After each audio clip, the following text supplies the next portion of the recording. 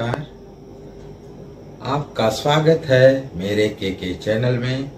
आज हम देखेंगे हाथी साला। जैसे जहाँ गाय रहती हैं, उसे कहते हैं गौशाला। जहाँ घोड़े रहते हैं, उसे कहते हैं अश्वशाला। उसी प्रकार जहाँ हाथियाँ रहती हैं, उसे कहते हैं हाथीशाला तो चलिए आज देखते हैं हम विजयनगर की हाथीशाला यह देखें विजयनगर की हाथीशाला जिसका एक कच कितना लंबा, चौड़ा,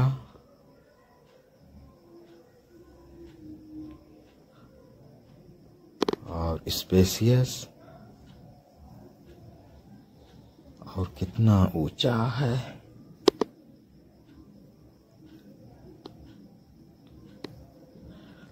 और इतना विशाल प्रांगण और इस बिल्डिंग में महावत रहते थे, जहाँ सैनिक भी रहते थे और हाथियों की देखभाल करते थे।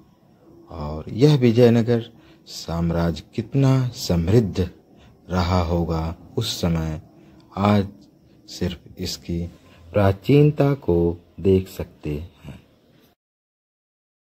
आप तेनालीरामा को जानते ही होंगे, जिनके राजा श्री कृष्ण देव राय थे, जो विजयनगर साम्राज्य के शासक थे। उसी विजयनगर साम्राज्य में बना यह हाथी शाला, हाथियों का घर है। यह विजयनगर अब हम्पी के नाम से जाना जाता है, जो कर्नाटक राज्य में स्थित है। इस चित्र में ऊपर ग्यारह गुंबद बने हुए हैं और नीचे ग्यारह कच्छ हैं। इससे यह पता चलता है कि इस भवन में ग्यारह हाथियाँ रहती थी। यह वीडियो आपको कैसा लगा? यह कमेंट बॉक्स में लिख कर बताएँ तथा इस वीडियो को लाइक, शेयर एवं मेरे चैनल को सब्सक्राइब ज़रूर करें। धन्यवाद।